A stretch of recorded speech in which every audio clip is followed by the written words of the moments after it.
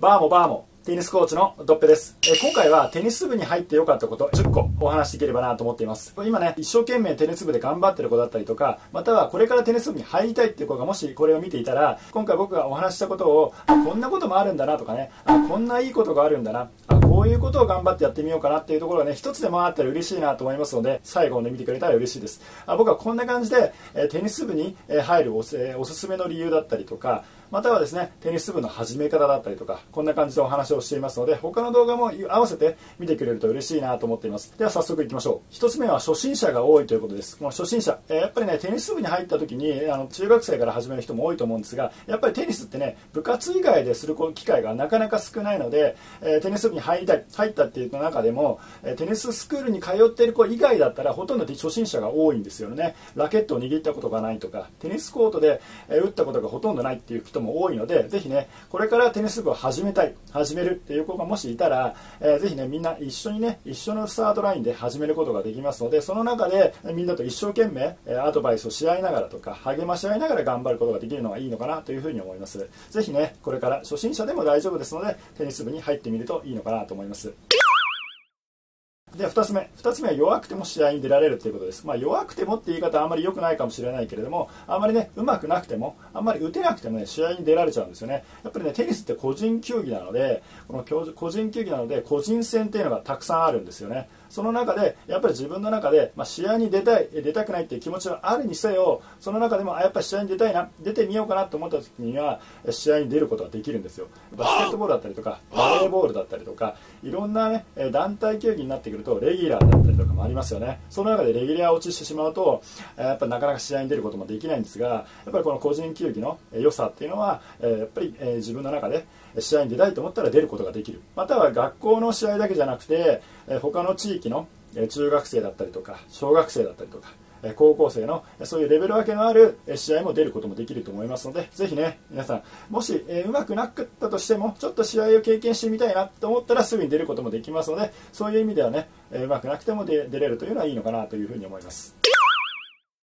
では次次は楽しさから始められるということなんですよね。本当に最初からあのやるぞ。すごいもうガスガスともう練習にかなり頑張んなきゃいけないとかそういうことではなくてやっぱり初心者の方々が多いし先輩の人たちも始めたばっかりっていう人も多いのでそういう意味では、えー、本当に最初は楽しいところから始めていきましょう。というところから始まると思います。そういうところで、えー、なんか楽しいな。あなんかちょっとやってていいな。あ友達と一緒に頑張るのもいいな。っていうところから始めていってそれであだんだんだんだん真剣になってくるんですよね。僕のね教えていた、えー、中学校の生徒たちも最初はねなんかちょっと友達がいるからやってみたとか、えー、一緒の仲のいい友達が一緒に頑張ってるからやってみたっていう子が最初多かったんですけどもだんだんだんだんなんかこう負けたくないって気持ちだったりとかあもうちょっと上手くなりたいって気持ちがどんどん芽生えてくるんですよね。そうすると真剣に取り組んでくるようになるんですよ。なので最初からいきなり真剣にもういきなりがっつりと入り込むんじゃなくてもいいのでぜひね最初は楽しむところから友達と一緒にやってみるところからとか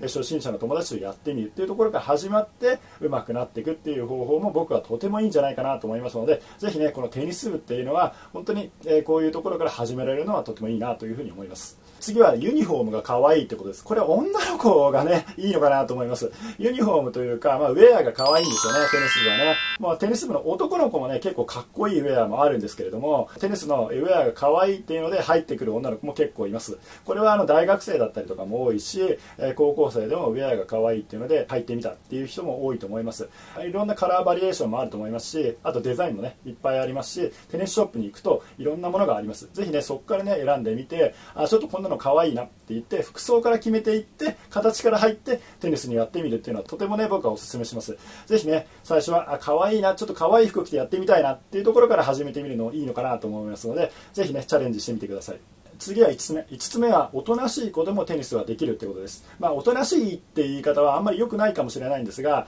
あんまりね動くことが得意じゃないっていうことであったとしてもテニスってねできるんですよね、えー、やっぱりねテニスに入ってみて本当にすごいねもう元気いっぱいっていう子もいればあの静かなおとなしい子もいたんですよね。もしね自分の中でああんまり前向きにあの元気いっぱい頑張るのはちょっと無理があるなとかちょっとね力が入っちゃうのは難しいなっていう子がいたらあのテニス部を選んでみるのもいいのかなというふうに思います。ぜひね、え、少し仮入部でもいいので、えチャレンジしてみてください。次は6つ目。6つ目はすぐ仲良くなれる。もちろんね最初にさっき言った初心者のこと。入って仲良くなるっていう方法ももちろんいいと思うんですけれどもこの仲良くなれるっていうのは先輩ともね距離が結構近いんですよね。縦社会というか先輩と後輩の壁がないんですよあんまりテニス部は、まあ、他の部活ももしかしたらないかもしれないんですがテニス部ってね特にね僕はこの先輩後輩の壁がないなっていうふうに感じました。男子と女子が一緒にする部活もありますのでこの男子と女子との壁も少なくなるんですよね。でまた先輩と後輩のいろんな壁も少なくなるのでいろんな人たちと仲良くなることが早いんですよ。これは中学生の時もそうだし高校大学になってからもこういう声をよく聞きました。いろんなところに僕もコーチングに行って先輩と後輩の壁がないっていう答える人が結構多かったんですよね。すぐ仲良くなれるっていうふうに答える人が多かったんですよ。ああ確かにそうかもなっていうふうに思ったんですね。やっぱりねえ教え合ったりとかまたは教わったりとかっていうようなことも多いんですけれどもいろんなねこう悩みだったりとか相談だったりとかすぐ聞ける環境にあるんですよね。そういう意味ではこういうふうにいろんな人と仲良くなりたいとか先輩と仲良くなりたいとか、えまた後輩と仲良くなりたいとかそういう意味では僕はねこの先輩後輩の、え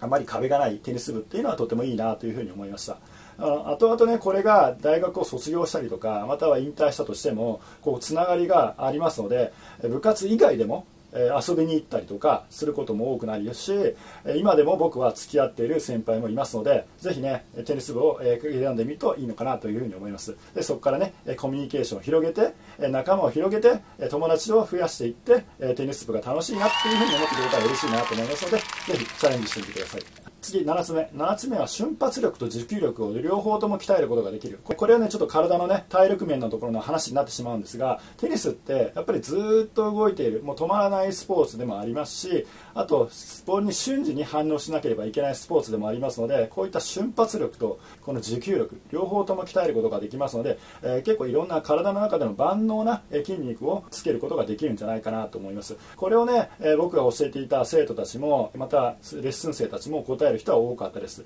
どっちもね鍛えることができるしあと体のね健康にもいいなというふうにも言っていました。この瞬発力と持久力どっちも身につけるっていうのはなかなか難しいんですがこれをやってみてやっぱりね自分の中で体が鍛えられたっていう声もたくさんありましたのでこのように体を強くしていきたい。っていうようなことがもし求めていたらテニス部を選んでみるのもいいのかなというふうに思います。では次は8つ目。8つ目はチームプレーと個人プレーを両方とも身につけることができるということです。部活の中で部員の人たちと一緒に行動するということも学びますので団体行動だったりとかまたはチームプレーだったりとか自分の役割だったりとかそういった部活の中で学ぶこともできるしまた個人球技の中で自分の中で責任を持って力を発揮していく。また自分で戦略を立てて勝たなければいけないということもありますので個人の能力と団体行動の能力が両方とも身につくっていうに答えているレッスン生やまたは生徒たちも多かったですね、まあ、これはね入る前はあんまり気づかないかもしれないんですけれども後々部活をやって1年2年頑張ってみてあこういうことができるようになったなっていうことを振り返った時にあこれがね身についたなって思ったりするんですよね。なので最初のうちはなかなかねわからないイメージつかないかもしれないんですけれども最後まで頑張ってみるとこういう能力も身につくのかなというふうに思います。是非最後まで頑張ってみてください。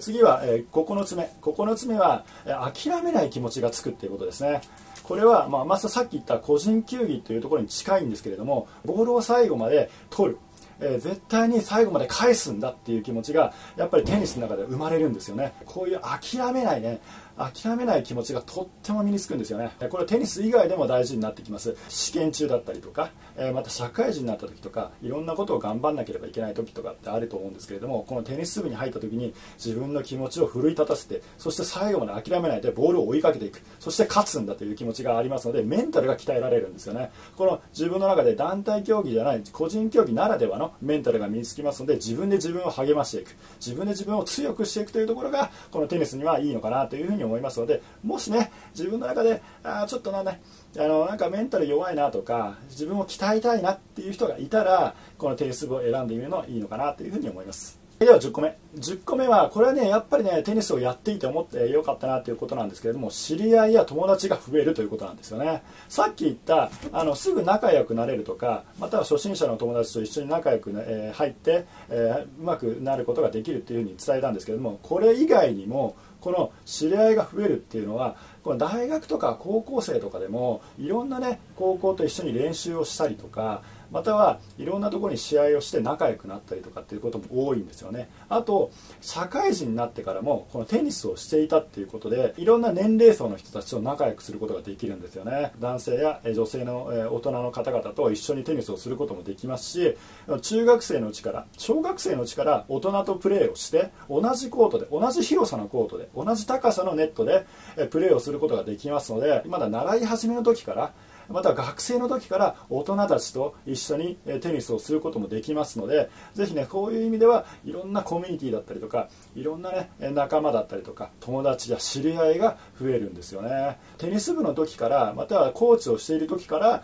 いろんなところで教えてくださいとかいろんなところでねやってくださいっていうふうに言われることが多いんですよね。こういうところがですねテニスに入ってよかったなっていうふうに思った瞬間でした。